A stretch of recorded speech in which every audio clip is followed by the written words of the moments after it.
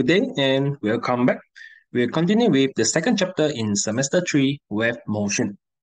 We'll start with the progressive wave. So at the end of this video, you should be able to interpret and analyze the progressive wave equations and also learn to understand the displacement time graph and displacement distance graph. So first of all, progressive wave is a wave that is different with standing wave, which we will learn later on. It is a wave whose wave profile propagates with time along the direction of wave propagation. In SPM, we have learned two types of graph. One is the displacement against the time, which gives you the period and the amplitude of the wave. Remember that for transverse wave, particles oscillate perpendicularly to the direction of wave propagation. So this graph is actually showing the displacement of particle which is at a certain distance away from the source in a certain time range. And then you also learn about the displacement against the distance that give you information about the wavelength. So this graph also can be understood as the wave profile at a fixed time, which is something like a photo of the wave taken at a certain time. So for the equations, we can represent the first graph with the equations of y is equal to a sine omega t, while the second graph is represented by a sine kx. Now, some of you may be confused with the second equations. Recall back the graph of trigonometry we have learned before. This would be the waveform of sine x. And if you have the equations of y is equal to sine 2x, you will have two wavelengths in one period of oscillation. And then you have three wavelengths if it is y equal to sine 3x and etc. So the second graph can be represented by the equations of y is equal to a sine kx, where k is the number of wavelengths in a period, or also known as the wave number. To conclude these two graphs, you can obtain information such as the period, amplitude, and wavelength. Another parameter would be the velocity, which can be calculated by getting the wavelength divided by the period, v equal to lambda over t, which is also f lambda. So after you have understand about these two graphs, we are going to look at the equation of progressive wave, which include both parameter of time and the distance. Before that, let's try to link the distance and the phase.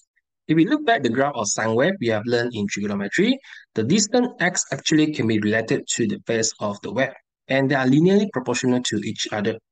One good example would be the distance of one wavelength is corresponding to one complete oscillation, that is the phase of 360 degree or 2 pi radian.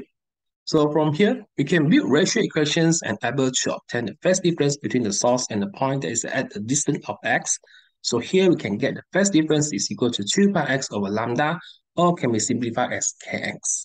And then we are going to relate the time and the phase as well. There's one thing we have learned before, which is the angular frequency. We have learned about the angular frequency that can be obtained by the angle divided by the time, or the phase of one complete oscillation, 2 pi divided by the period t. So here we have the angle is equal to 2 pi multiplied by the time divided by the period. And we can further derive the displacement of y is equal to a sine theta equal to a sine 2 pi time over the period, also equal to a sine omega t. So now if you are looking for the displacement of a particle at a certain distance x from the source of oscillation, there is the phase difference between the particle and the source.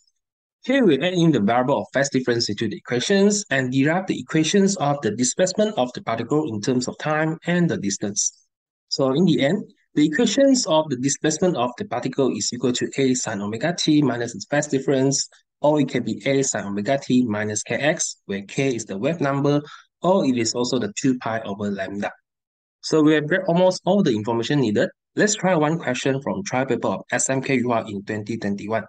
We are given with the equations of the progressive wave, which is in terms of time and displacement. Now, we will try to analyze the equations by comparing with the general equations that we have derived. First of all, amplitude is equal to 6 centimeter, and then we can obtain the angular frequency, which is also 2 pi f equal to 4 pi. From here, we can calculate the frequency is 2 hertz, while the period is the reciprocal of frequency equal to 0.5 second. Next is the phase difference. We know that k is 2 pi over lambda, and it is equal to 0.02 pi from the equations.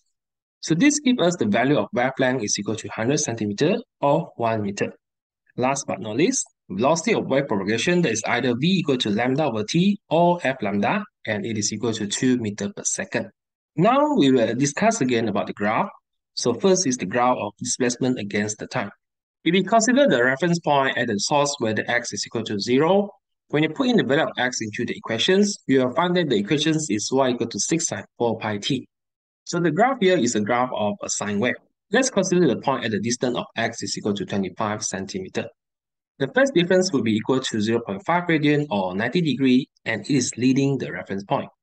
But we won't say that who is the leading or who is the lagging. Instead, we will conclude that the wave is moving in either the positive OX or the negative OX directions.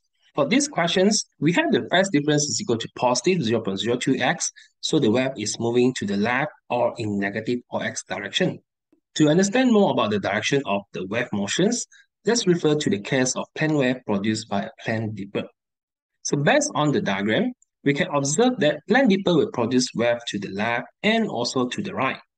If we are looking at the right side of plane dipper, the equations will be in the form of y equal to a sine omega t minus phi, which is what we have derived in the first place.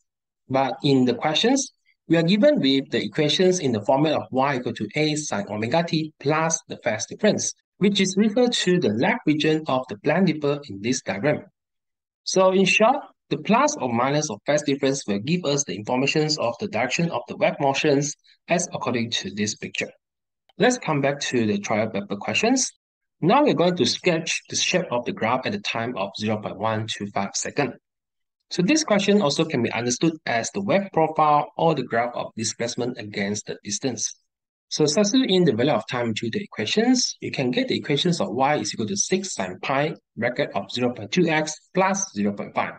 For graph sketching, we can see that it has 0.5 radian or 90 degree of phase difference ahead, which produce the shape of the graph as shown in the slide. So this should be enough about progressive wave. But there's one last thing can be noted here. It is mentioned that the particle in the medium of transverse wave is oscillating up and down, which is perpendicular to the direction of wave propagation. In fact, the motion of this particle follows the simple harmonic motion, and the displacement of the particle is the same as the equation of progressive wave. So there is some connection between the displacement of the particle with the simple harmonic motions. There's one interesting question in the trial paper, which is about the maximum transverse velocity. So why the velocity so-called transverse velocity is because the velocity of the particle is perpendicular to the direction of wave motions. So apply what we have learned in chapter 19 to get the transverse velocity by performing differentiation on the displacement equations. So that's all for my discussion today. If you have any questions, you can leave it in the comment section below. Also, do leave a like and subscribe my channel I will see you in my next video. Thank you.